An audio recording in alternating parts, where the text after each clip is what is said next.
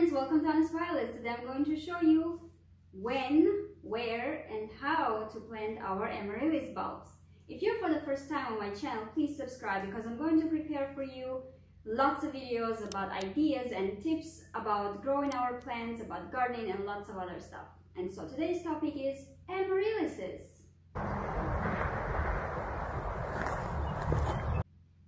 If you have seen my previous videos, I have a couple of videos about amaryllises, basically what to do with them after blooming, how to repot them, and lots of other stuff. I have even showed you like a collection of my amaryllises in pictures and how I grow them from seeds.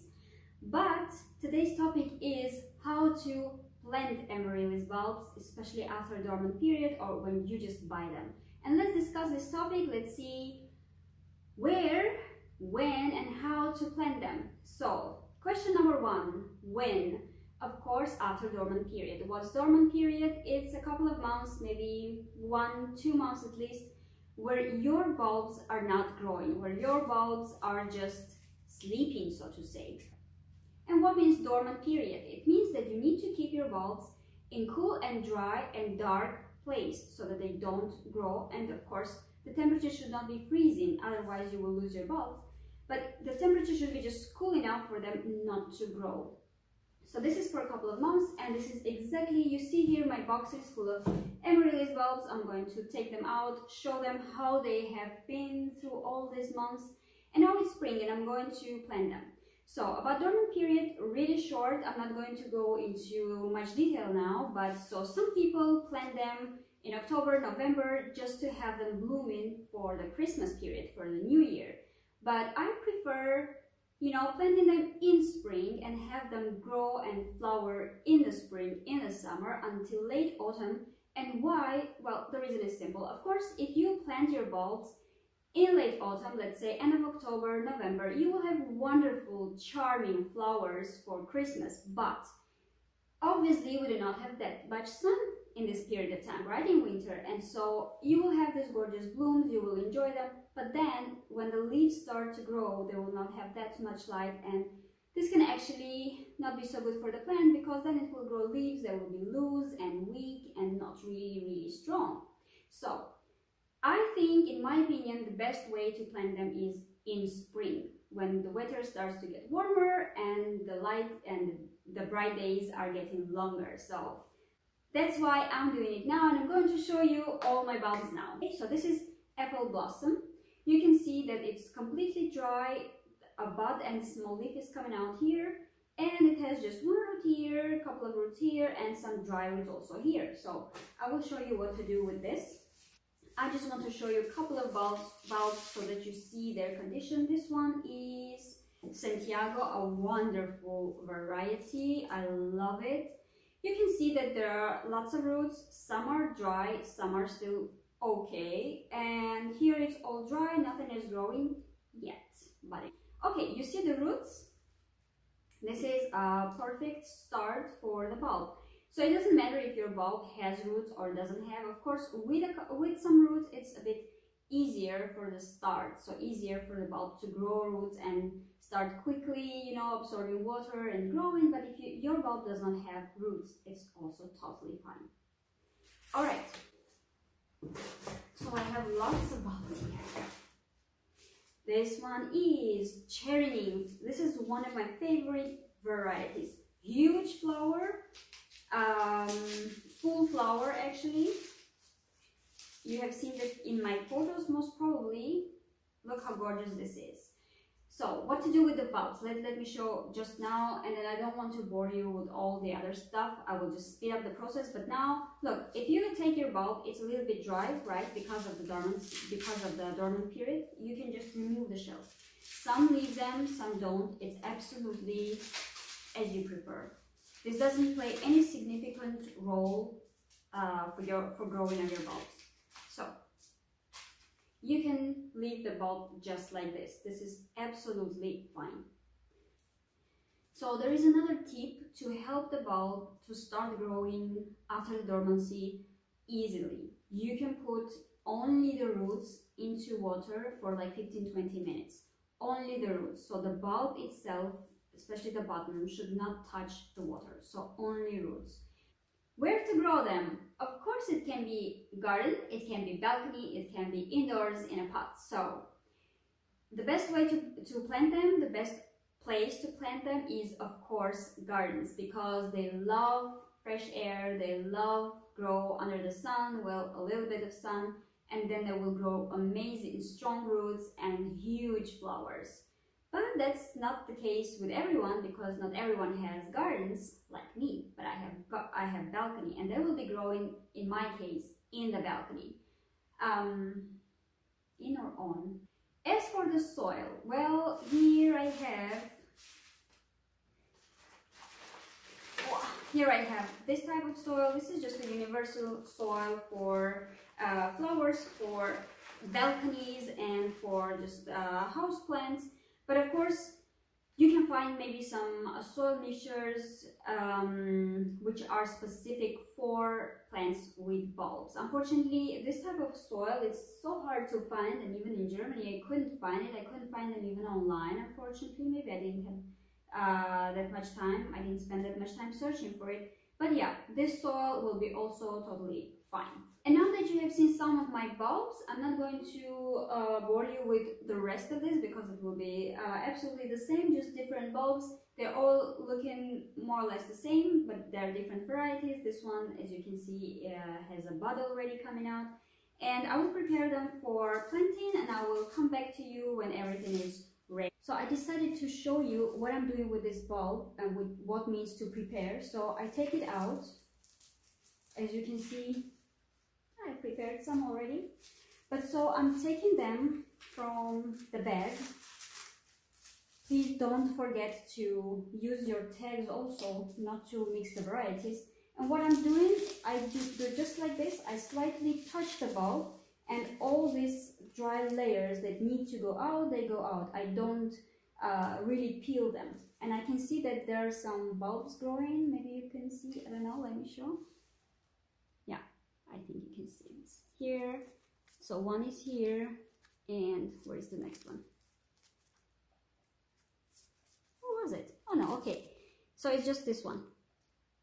So this will most probably grow into a separate plant. And the roots, as you can see, they are dry. Some of, some of them are dry. And what I do, I just, you know, I just touch them. I just pull them a little bit. What goes off, goes off. The rest shall stay. Or you can just cut with scissors. But again, with lots of bulbs, it's a lot of work. So I'm not doing this.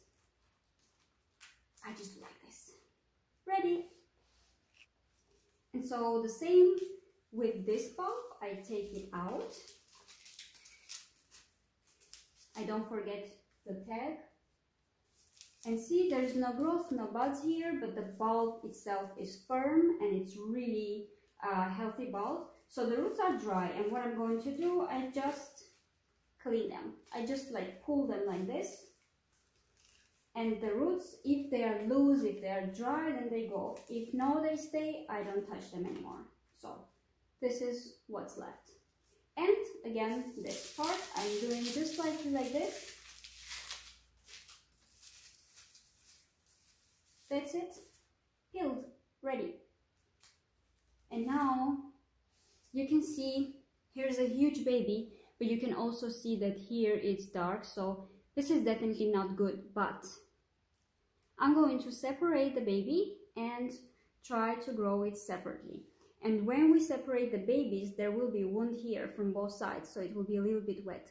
Don't hurry to plant this bulb, but just wait until maybe two or three days until the wound is completely dry and only then plant it. So how you can separate them either with a knife or you just slightly pull it just like this as you can see it goes out really easy but there will be wound here and also here so both need to stay dry for a couple of days before you will plant them.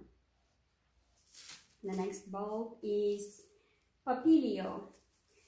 So it's a very nice flower, a very nice plant and with gorgeous flower. Two buds already growing. This is absolutely fine that they are white or yellow. As soon as I plant them and put them in a bright place, they will turn green in just a couple of days. And a baby I will not separate this baby because it's still small and I would like it to grow attached to the mother plant so that it grows uh, bigger easily. And of course I will remove the layers and the roots. Green, blue and this purple amaryllises just do not exist. It's just people are changing these colors with some software just to make them appealing for customers and so that people buy them. But you can of course buy them if you would like just to have a plant of amaryllis, if you don't care about the variety, you don't care about the color and the type of your plant. But if you expect the bulb to bloom just like this, purple, you will not get it. As you can see, I have put some soil in this plastic uh, pots and what I'm going to do, I just want to show you the depth, how deep you need to plant your bulbs. So we will start with, this is apple blossom. As you can see, I have one, two, three babies and even four babies here, but I'm not going to remove them because they are just tiny and they will not grow if separated from the mother plant. So you can just take the bulb. As you can see, there are some roots, it's totally fine.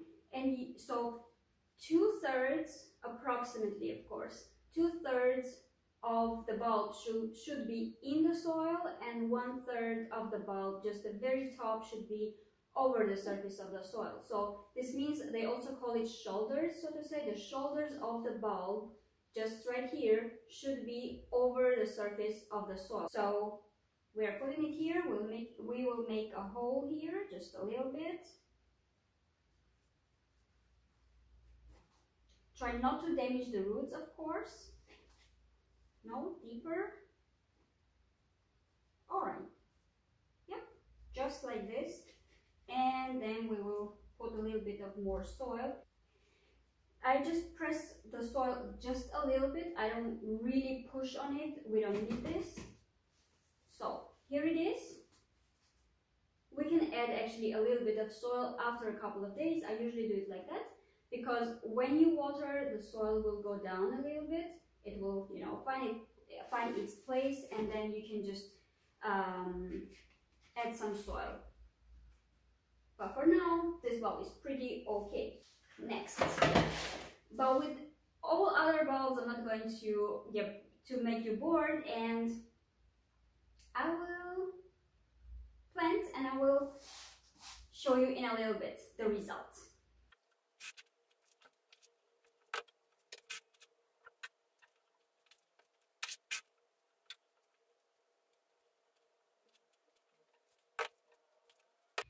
So the bulbs are planted, the job is done. As you can see, all the bulbs are planted for now. They will go to the balcony. What I wanted to say, this is the only plant, uh, this is the only pot that I planted here, just two bulbs because they were much smaller than the others.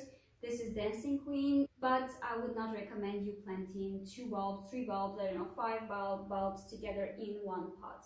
Of course, sometimes people do this and then they have this gorgeous, I don't know, fountain of flowers. But after flowering, I would suggest still separating them and letting the bulbs grow because this is how your bulbs will grow in size, will get strength, and will flower even better the next year. So I want to mention two things. First, please, if you have the opportunity, please plant your bulbs outside in the garden. If you have a garden. If no, then please, this is really important, to choose a bigger pot. Otherwise, if you grow your, your bulbs, your plants in a small, in a tiny pot, yes, it will bloom, but the bulb itself will, will shrink a lot because flowering takes lots of energy from the bulb itself. It uses actually the energy from the bulb. Of course, you water it, but the main source is what the bulb has in itself.